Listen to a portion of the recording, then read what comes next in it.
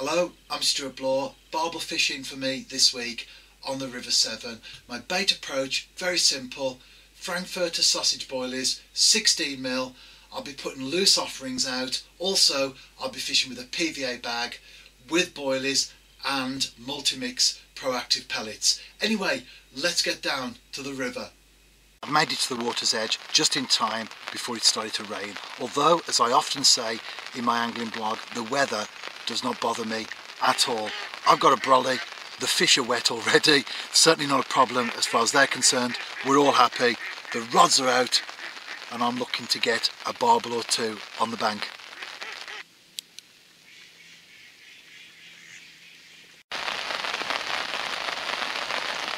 Right on dusk, it's a miserable afternoon, but as I always say in a situation like this, not my target species, but at least I'm not a blanker.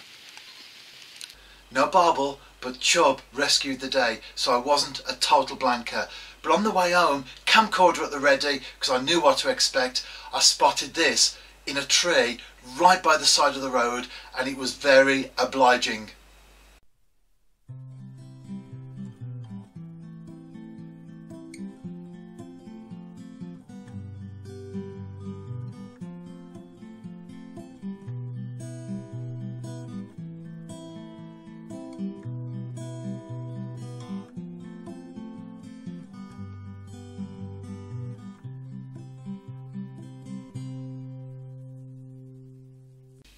And with the river very low, I was up in Wales. I spent an afternoon into dark on the upper Severn, challenging at the best of times, and certainly in the conditions, an extra special challenge. Needless to say, I blanked this time round, not only for barbel, but also no chub either. I'm killing two birds with one stone here. First of all, I've been to the New Saints, done some stuff there, interviewing players for a podcast, that sort of thing, out and about in the local town promoting the club. Something to eat, straight down the river, took the rods with me in the back of the car, straight down the river, just in time for dusk. Hopefully, I'll get a fish on the bank. That would be good. This is the Upper Severn, so it's not the Barbel Alley that you find 20 miles or whatever downstream. This is hen's teeth country. They're not exactly prolific, but as I always say, as long as your bait's in the water, you've got a chance.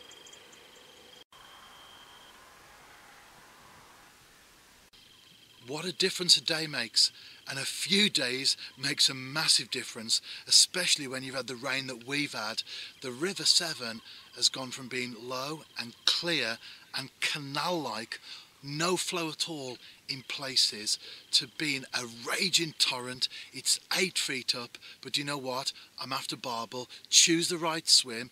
Obviously safety is an issue but also in terms of where the fish will be holed up they'll be feeding and i've just arrived. I've cast out and you know what?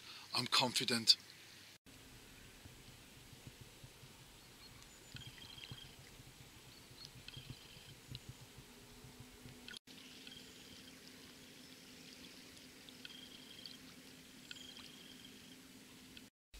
Well, the river so far has been like a piscatorial graveyard, nothing showing at all, not even any roach topping, but I persisted, call it angling sixth sense if you like, but I knew that it would come good in the end. We had some rain, that freshened the river up a little, but still the barbel proved to be elusive. Chub along the way, but not my target species. But I kept going. I had seven barbel blanks and on the 8th right at the very end in atrocious conditions so bad that the wind was threatening to trash my umbrella so I just packed it away and sat there in the pouring rain.